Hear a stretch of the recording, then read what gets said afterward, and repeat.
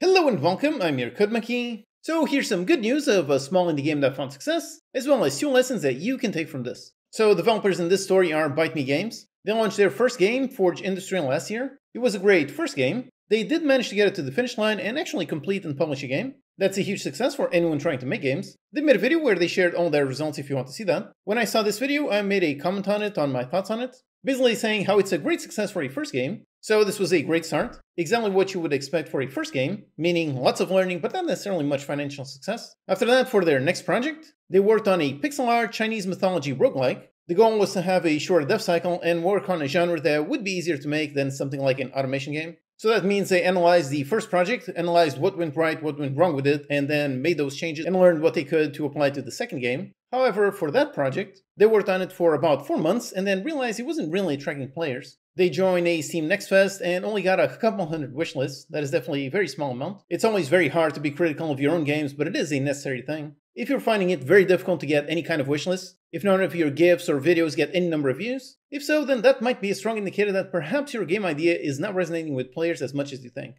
So when they saw these results, they made the always very difficult decision of canceling a project. They did that as opposed to continuing to spend more time and money working on this. Again, this is always a very tough decision, but sometimes it is the right decision. So they cancelled it and got to work on a game called Guild Architect. This one you manage a guild of adventurers. The idea sounds good, it matches their skill set and is a good genre for Steam, but it's also a complex game that is likely going to take quite a while to complete. So in between working on that project, they decided to try out something that I think is a really great strategy that a lot of people should try. They decided to commit to making a game and releasing it in one month. And that game ended up being Unicycle Pizza Time. I think they did very well in picking the right idea. This is a precision platformer game, or perhaps more accurately, it's a rage game. It's got wonky physics, it's got multiplayer, and has a very silly name. Comedy is always something that can work quite well for these kinds of games. It's following a trend that is currently popular nowadays. Games like a difficult game about climbing, the game of Sisyphus, and so on. All of these are quite popular nowadays. So this is essentially the perfect streamer bait game. It's a kind of game that has a tiny scope, it has replayability and potential for virality. So great game idea, and importantly, they started and published this game in 30 days. Now, due to all those factors, the game has just come out, and it's actually finding a nice amount of success. It already has almost 80 reviews, so I'm guessing around 3,000 copies sold and maybe $15,000 in gross revenue. That's a really nice number. They're usually very open with their sales numbers, so I'm sure they'll make a video showing the actual stats for this game. So definitely check out their channel and stay tuned for that one. So they got great sales numbers in just about the first week. And again, this whole game was built from scratch in just one month. Everything here, all from start to finish in that amount of time. And it's already selling more than their first game, which took a year and a half to make. Now I think this is a grinning example for specifically two things. So first, if you're the kind of person who gets stuck in development hell, if you're constantly starting new games and never publishing anything new, if so, then I would highly recommend you start this strategy. Pick a game idea, spend one month working on it, and very importantly, at the end of that month, make sure you publish it. Some people get caught up in some like analysis paralysis. They're constantly trying and tweaking all kinds of things because it isn't perfect, and doing so would cause them to never end up releasing anything. So my advice is to commit to actually publishing a game. If you do, then by the end, you will, well, first of all, you will have published the game, and secondly, you will see how publishing a game is a relatively normal thing. Meaning it is not something that is only reserved to special people, special indie devs and so on. You can take whatever knowledge you have right now and make and complete and publish a game. Finishing games is a muscle, and just like with any muscle, you do need to train that. And as you do, and as you release more and more games, you will realize how releasing a game is really just a normal thing. Don't get me wrong, making a good game, that is a very difficult thing, but releasing a game, when you finally have something, you can definitely go through that process. And doing so, of course, that will help you gain the confidence you need to launch your second game, your third game, and so on. Now, obviously, for this strategy to work, the main goal is to start and actually finish a game within one month. That is a very tiny amount of time, so definitely make sure you pick a good idea that has a very, very small scope, meaning don't try to make a game like Skyrim.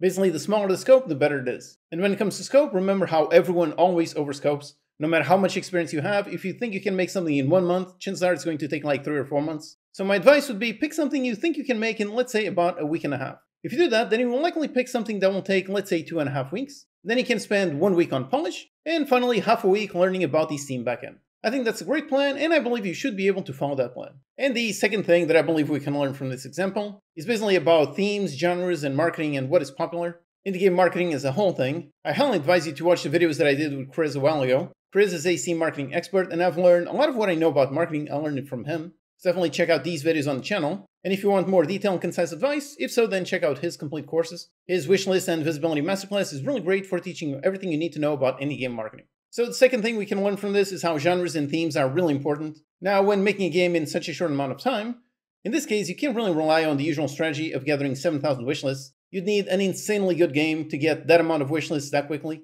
In this case, Unicycle Pizza Time, they launched their game with let's say about 300 wishlists. So wishlists are not how the game found success. Instead, the reason is exactly because of genre. These kinds of games are hot right now. Streamers love to play them, and a lot of people also love to play them. These rage-inducing games can lead to a lot of virality. So making a game in this particular genre and making it with a very silly name and a very silly premise, I think that really helped them have a successful launch despite a relatively low amount of wishlists. If instead this was a 2D pixel art roguelike game, I do not think they would find these results at all. So this shows the importance of picking the right game idea and the right genre and theme for your game. When picking a game ideas of what to work on next, make sure you spend enough time actually thinking about what game idea you want to make and what game idea could be marketable. Definitely don't just make the first game idea that comes to mind, especially the longer your dev cycle, the more you should spend on picking the right idea. Now, if you do decide to follow this strategy, if so, then I would advise you to not expect these kinds of results. I think this was very much an outlier. I think this was very successful. I think this was extremely successful for the time frame. So I would not necessarily expect these exact results, but the main goal for this strategy is really just to get a game published. And for that, I really think that a lot of people, perhaps you included, should give this a try.